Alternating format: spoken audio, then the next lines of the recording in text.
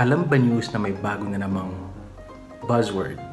Last week meron tayong Flurona, di ba? Yung combination of influenza and corona.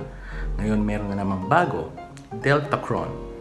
So ito daw ay combination ng Delta at Omicron variants. So may isang scientist sa Cyprus na nag-report a few days ago na may mga pasyente daw sa ospital nila na may infection of Delta and Omicron.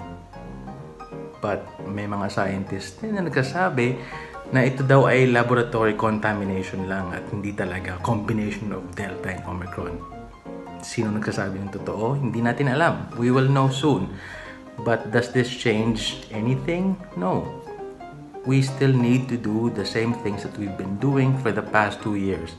Follow all public health recommendations, get the vaccine, get the booster when it's your time. Stay safe. At yan ang latest. Ako si Dr. Melvin Sanicas at Nalaman News straight from the experts.